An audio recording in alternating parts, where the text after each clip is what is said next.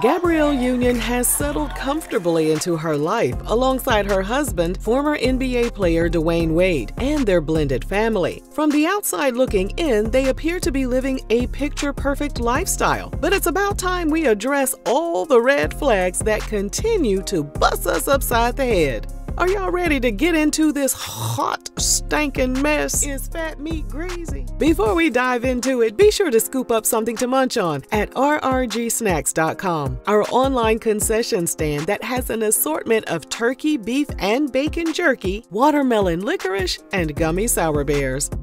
After her marriage to Chris Howard ended in 2006, Gabrielle was getting her back blown out by several men in the industry. Now that sounds fun as hell. And then in January 2007, she was spotted flirting and dirty dancing with Derek Jeter at a nightclub. Weeks later, she met Dwyane at a Super Bowl party. In an interview, she said she wasn't interested because she was truly, madly, deeply in love with someone else. Say what now? Not only was there another man occupying her heart and mind, but she wasn't interested in dating another athlete. To find out why, be sure to check out our other Gabrielle video after we wrap things up here. Okay, I'ma check it out, girl. So anyway, she was also turned off by his age since he was 25 and she was 34 at the time. Oh, and did we mention Dwyane was also married to his high school sweetheart, Siohvaughn?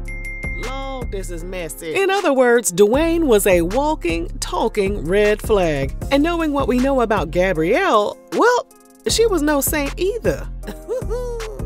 Gabrielle told Essence magazine, I stayed on one side of the room with my people. We like to party, and he doesn't drink at all. He was on the other side of the room holding Bible study. Just a closer walk with thee.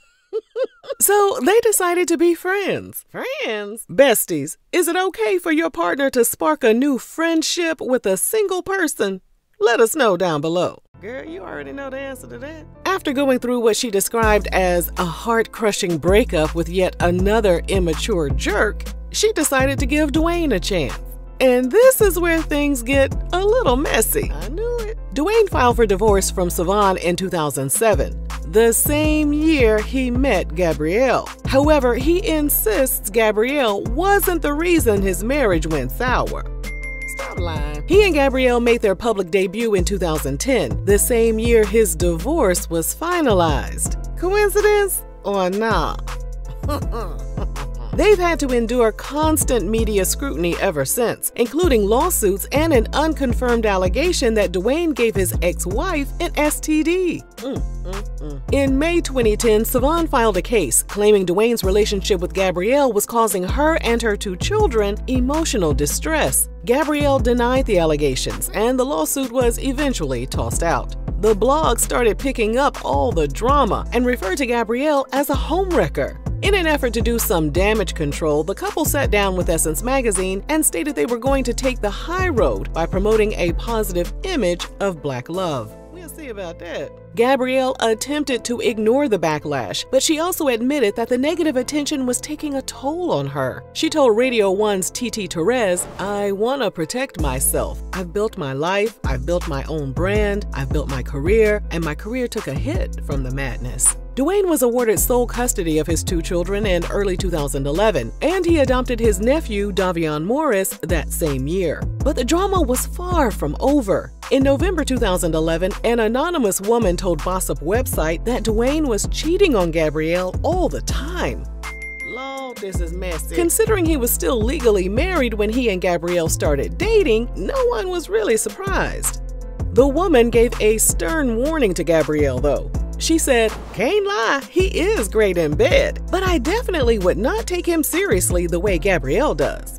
Do you think Gabrielle gave a damn? Hell no. They continued with their happy romance up until they started experiencing relationship issues in 2013. Uh-oh. That's when Dwyane decided to make a decision that would change their relationship forever. He met up with his longtime friend, Aja Metoyer, and started clapping her cheeks. Aja, who already had two children with actor Damon Wayans Jr., got pregnant. Dwyane and Gabrielle claimed they were broken up when Dwyane decided to go half on a baby with someone else. Girl, stop lying. But TMZ uncovered some of Gabrielle's social media posts that were shared during the time of their alleged breakup that proved they were still very much together. In her memoir, Gabrielle admitted they weren't in a good place when Dwyane stepped out on her. And since she was having fertility issues and was unable to carry a baby to term during their relationship, it hurt 10 times worse to find out how easily he got someone else pregnant. You put your trust in a ninja stupid. How you figure he want your best friend and your sister. I lie to ya. And then He's a ninja, don't let him fool Instead of coming clean about his new baby on the way, Dwyane told Club Shay Shay that he tried to break up with Gabrielle instead. This ninja. His breakup speech went a little something like this. hey, things have been bad lately. We've been having a little distance in our relationship anyway. Huh? But according to Dwyane, Gabrielle wouldn't take no for an answer, and she kept showing up in his life. Knowing that he couldn't get rid of her clingy ass, he decided to go ahead and tell her the truth. Naturally, Gabrielle struggled to forgive him. In her memoir, she wrote that a small voice kept telling her to leave, but her fear of public humiliation was so great that she couldn't even take her own advice. So she sucked it up and stayed with him. Aja gave birth to their son Xavier in November 2013, and less than a month later, Dwyane proposed to Gabrielle with an 8.5 carat diamond engagement ring. His children helped him by holding signs that read, Will you marry us?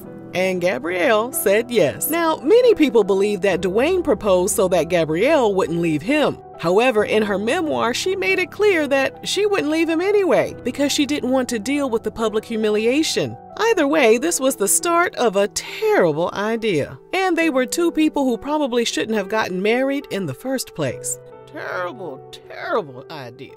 After signing a prenup, they became husband and wife in April 2014. While playing for the Miami Heat, they lived in a home Dwyane had previously purchased. During an argument, he threw it in Gabrielle's face that she was living in his house that he paid for. He need his ass beat. Okay.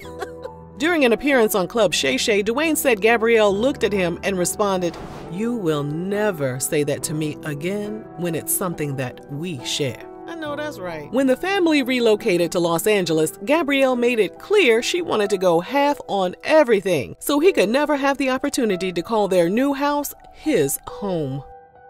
After suffering an estimated nine miscarriages, they decided to have a child via surrogacy, and their daughter was born in November 2018, making Dwyane a father of five children by three women. While the drama in Dwyane and Gabrielle's lives has subsided in recent years, Gabrielle continues to deal with the aftermath of Dwyane's decision to conceive a baby with someone else. Looking back on her decision to give him a second chance, she wrote in her memoir, The me of today would not have stayed with him, but would I be who I am now without the pain? Contrary to what some people believe, love doesn't have to hurt in order to feel real. Your partner should bring peace to the relationship, and someone who's meant to be in your life wouldn't betray you like Dwyane did Gabrielle. Ashe and amen. Okay. Has Gabrielle finally decided that enough is enough? Apparently so, according to an October 2023 blind item posted by a gossip blog called DeuxMoi. According to the blog, Dwyane was reportedly spotted having an intimate conversation with another woman. You can't trust no ninja, no. No. The blog also stated that Gabrielle has been posting cryptic messages on her social media about clarity, truth, and transparency. The blog added, An insider said they will be like Will and Jada if they ever separate. They will keep it quiet and live their separate lives, but keep a united front for years if necessary.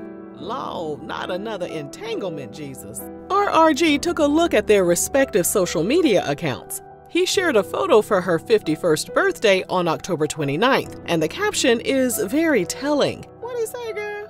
The caption reads May your journey to peace become shared stories in your next memoir. We don't need no more celebrity memoirs. We tired. We love you, and we hope that you're having a day for you. A day for you? What that mean? Gabrielle responded to the post by telling Dwyane that she loves him, but it wasn't enough for people to stop speculating about the status of their marriage. At this point, the red flags were there from the first day they met. So we can't say we're surprised by the new marital issue allegations. Either way, we wish them the best. If you enjoyed this video, let us know down below. And thanks for watching RRG.